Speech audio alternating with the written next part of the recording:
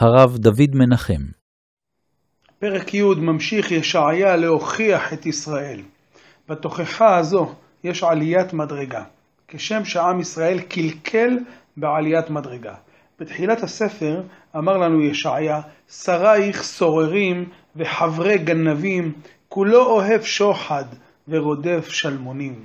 יתום לא ישפוטו, וריב אלמנה לא יבוא עליהם. השרים הללו הם גנבים, הם חברי גנבים, הם אוהבים שוחד, רודפי שלמונים. מה שהם עושים זה שאת היתום הם לא שופטים, ריב אלמנה הם לא נכנסים. הם פסיביים כלפי צרת היתום, הם פסיביים כלפי עושק האלמנה. כאן, כבר בפסוק הראשון שלנו, יש עליית מדרגה. השרים הללו הם הם המייצרים את העוול בצורה אקטיבית.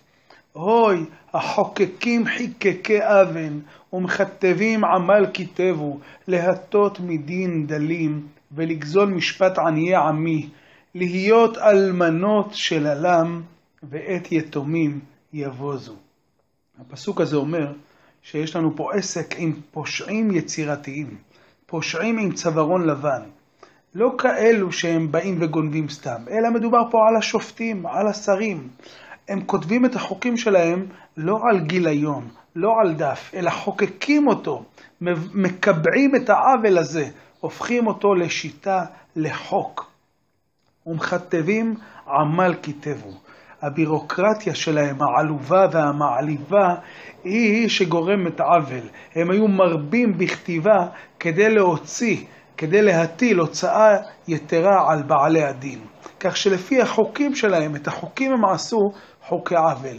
כאשר מישהו זועק נגד העוול, אומרים לו, אתה עובר על שלטון החוק. שלט... החוק ככה אומר, והחוק כביכול הוא הצדק. על זה אומר להם הנביא, ומה תעשו ליום פקודה, ולשואה ממרחק תבוא, על מי תנוסו לעזרה, ואנה תעזבו כבודכם.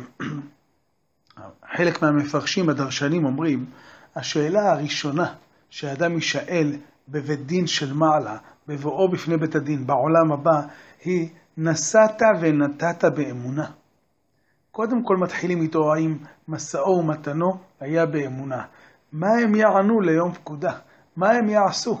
דווקא הם שהיו מופקדים על האמונה, על הנשיאה והנתינה באמונה, הם הם שחוקקו את החוק והפכו את המשפט למספח, הפכו את מקום המשפט למקום הרשע.